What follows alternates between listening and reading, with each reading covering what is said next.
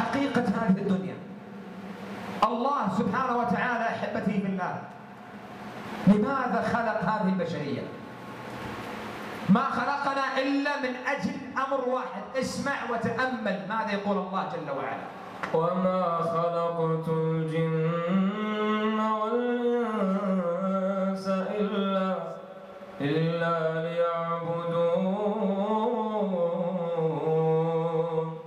الله خلقنا الله أحبتي بالله من أجل أن نتعرف عليه. خلقنا الله سبحانه وتعالى من أجل أن نعبده ومن أجل أن نوحده سبحانه وتعالى. الله ما خلقنا ليستكثر بنا من قلة. تعالى الله عن ذلك علوا كبيرا الله ما خلقنا ليستقوي بنا من ضعف. تعالى الله عن ذلك علوا كبيرا. بل أنا وأنت بحاجة إلى الله سبحانه وتعالى. يقول الله في الحديث القدسي وتأمل معي يا عبد الله هذا الحديث العظيم. يقول الله يا عبادي يا عبادي إني حرمت الظلم على نفسي وجعلته بين عبادي محرما فلا تظالموا. يا عبادي كلكم ضال إلا من هديته فاستهدوني أهدكم. أسألك بالله يا شاب.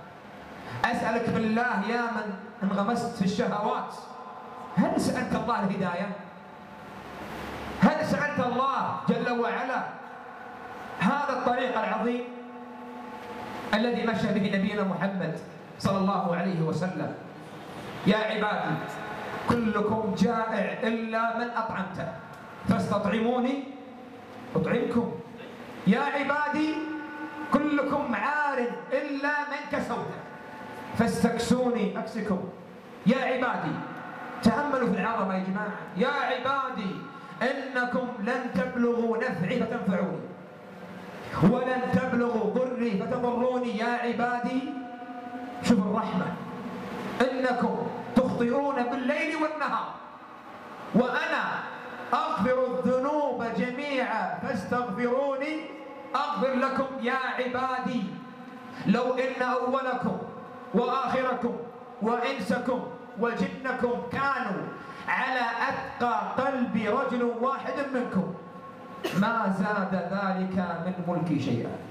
يا عبادي لو إن أولكم وآخركم وإنسكم وجنكم كانوا على أفجر قلب رجل واحد منكم. لو كل العالم مثل فرعون ولو كل العالم خرجوا في الشوارع وكل منهم قال أنا ربكم الأعلى الله يقول ما نقص ذلك من ملك شيئا. يا عبادي لو إن أولكم وآخركم وإنسكم وجنكم كانوا في صعيد واحد فسألوني أعطيت كل واحد مسألته ما نقص ذلك من ملكي شيئا إلا كما ينقص المخيط إذا أدخل البحر؟ يا عبادي وتأمل يا عبد الله في آخر هذا الحديث. يا عبادي إنما هي أعمالكم. أحصيها لكم. ثم أوفيكم إياها. متى؟ يوم القيامة. يوم الحسرة والندامة. فمن وجد خيرا فليحمد الله. ومن وجد غير ذلك فلا يلومن إلا نفسه. فالله أحبتي في الله غني عني وعنك. نحن عباد فقراء والله سبحانه وتعالى غني عني وعنك وعن طاعتي وطاعتك. الله جل وعلا أحبتي في الله ما خلقنا عبث. أفحسبتم أنما خلقناكم عبثا؟ أفحسبتم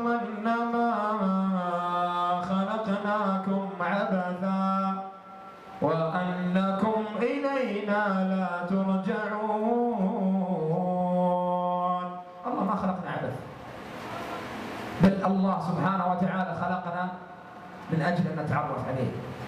يا جماعة تكفون تكفون. لابد أن نتأمل في سيرة أعظم من وطأت قدمه الثرى نبينا محمد صلى الله عليه وسلم.